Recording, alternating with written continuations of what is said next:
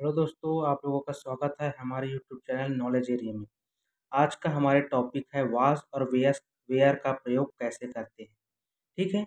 वास और वेयर को पहले क्या कहते हैं? हिंदी में उसे समझ लेते हैं पहले। वास और वेयर का अर्थ होता है था या थी एवं थे या थी।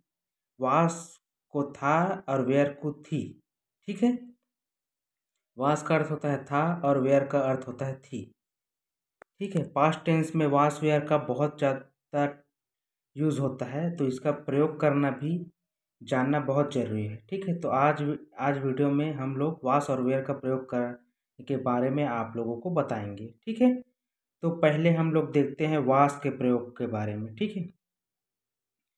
तो वास का प्रयोग किन के साथ किया जाता है? वास का प्रयोग he she it this name that she ठीक है। वास का प्रयोग किन के साथ किया जाता है? दोहरा रहा हूँ मैं। वास का प्रयोग he she it this name and that इन्हीं को मतलब ही शी इट और दैट इन सबको ही थर्ड पर्सन कहा जाता है और सिंगुलर नंबर में ही नेम या कर्ता का आता है, ठीक है? तो वास का प्रयोग he she it this name that ठीक है? इन्हीं को थर्ड पर्सन और सिंगुलर नंबर कहते हैं। ठीक है? की संज्ञा या कर्ता के साथ किया जाता है, ठीक है? एक बार और दोहरा देता हूँ आपके लिए, अच्छे से। वास का प्रयोग he, she, it, this, that, name एवं थर्ड पर्सन सिंगुलर नंबर की संज्ञा के साथ किया जाता है, ठीक है? थर्ड पर्सन हो गया he, she, it, this, that और सिंगुलर नंबर का कर्ता हो गया नेम। राम है, मोहन है, जो भी हो सकता है, ठीक है? तो इनके साथ वास का प्रयोग किया जाता है। तो एग्ज़ाम्पल देख लेते हैं हम। एग्ज़ाम्पल है हम लोगों का एग्ज़ाम्पल है हम लोगों का पहला। I was glad I was glad मैं खुश था, ठीक है? आई वॉज़ ग्लैड आई के साथ वास का प्रयोग, ठीक है? आई वॉज़ ग्लैड ठीक है? क्योंकि आई मतलब सिंगुलर नंबर सिंगुलर नंबर मतलब आई मैं, करता आई करता है इसीलिए सिंगुलर नंबर के कर्ताओं के साथ। देखिए, सिंगुलर नंबर की संज्ञा मतलब कर्ता के साथ आई तो आई वाज ग्लैड ठीक है? वास का प्रयोग थर्ड पर्सन और सिंगुलर नंबर की संज्ञा के साथ मतलब कर्ता के साथ किया जाता है। तो आई यहाँ पर करता है तो उनके साथ वास का प्रयोग। ठीक है? आई वाज ग्लैड दूसरा है ही वाज हैप्पी ठीक है? ही वॉज़ हैप्पी दूसरा एग्ज़ाम्पल हो गया। ही वॉज़ हैप्पी वह खुश था या वह प्रसन्न था। ठीक है?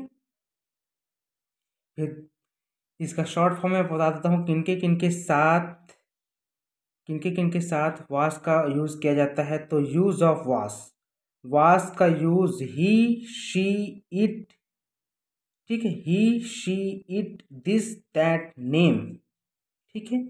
और अगर नेम नहीं होगा तो आई होता है। ठीक है? नेम नहीं होता है तो आई होता है। ठीक है? तो यूज़ ऑफ़ वास वास का use he she it this that name और अगर नेम नहीं है तो कर्ता के स्थान पर आई होता है। ठीक है? तो नेम नहीं होता तो कर्ता के स्थान पर आई होता है। तो इनके साथ वास का यूज़ किया जाता है, ठीक है?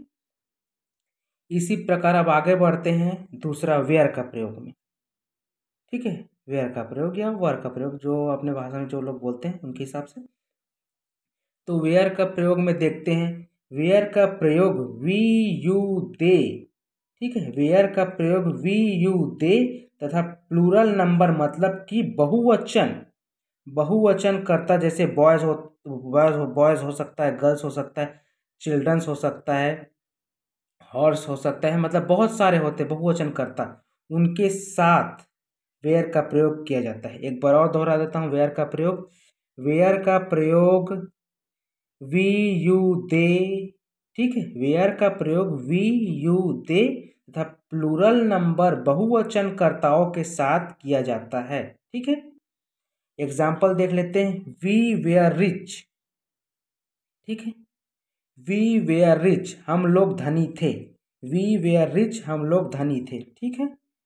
और दूसरा एग्ज़ाम्पल देख दे, देख लेते हैं. वी वेयर इल तुम बीमार थे. यू वेयर इल तुम बीमार थे. ठीक है? दूसरा एग्ज़ाम्पल इसका शॉर्ट फॉर्म में देख लेते हैं कि किन के साथ वेयर का यूज़ किया जाता है. यूज़ ऑफ़ वेयर तो वेयर का use, we you they, were का यूज़, वी यू दे तथा बहुवचन करता बहुवचन करता क्या होता है? जैसे जैसे गर्ल्स हो गया, दूसरा हो जाता है आपका चिल्ड्रंस हो गया, इन सब के साथ वेयर का यूज़ किया जाता है, ठीक है? वी यू दे प्लस बहुवचन करता गर्ल्स, बॉयज़ ठीक है? हॉर्सेस और बहुत सारे होते हैं बुक्स होता है, इन सब के साथ वेयर का यूज़ किया जाता है, ठीक है? उम्मीद करता हूँ आप लोगों को वाज और वेयर का प्रयोग समझ में आ गया होगा। इसी प्रकार नॉलेजफुल वीडियो के लिए हमारे यूट्यूब चैनल नॉलेज एरिया को सब्सक्राइब कीजिए और इस वीडियो को लाइक कीजिए शेयर कीजिए, ठीक है? Thank you